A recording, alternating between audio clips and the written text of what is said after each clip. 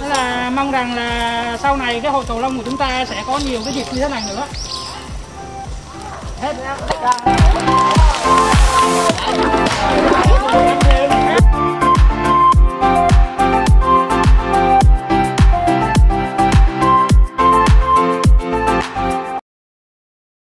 Chúc các bé thiếu nhi uh, luôn chăm ngoan học giỏi và chúc các con có ngày lễ thật vui và đầy ắp tiếng cười. Và cuối cùng là chúc là chúng ta có buổi giao lưu vui vẻ và thành công. Cây đàn đi nó càng ngân lên chúng ta cùng hòa ca có ai bạn xa nhà? Có cô bạn nhớ cha cất vang cùng lời ca.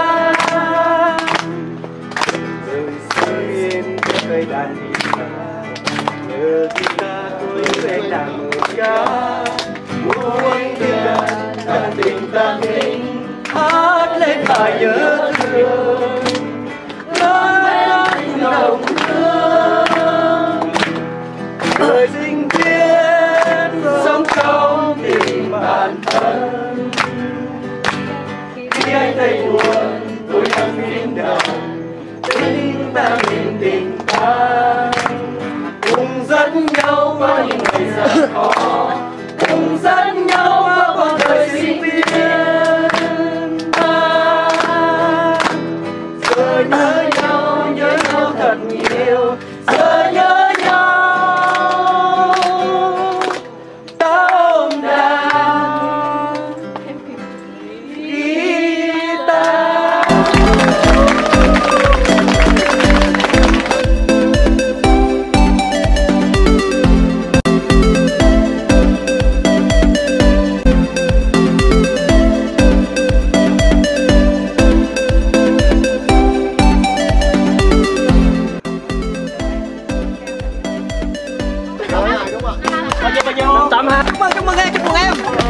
chúc giải khuyến khích lên lên ngoài lên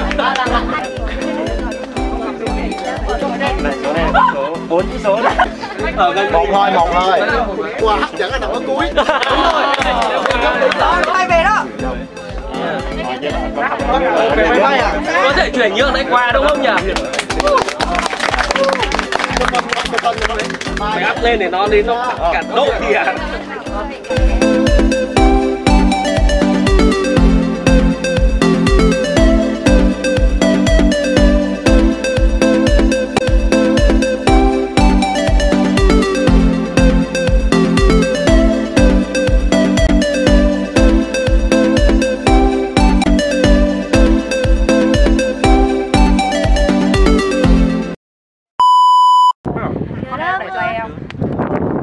mình dưới biết rơi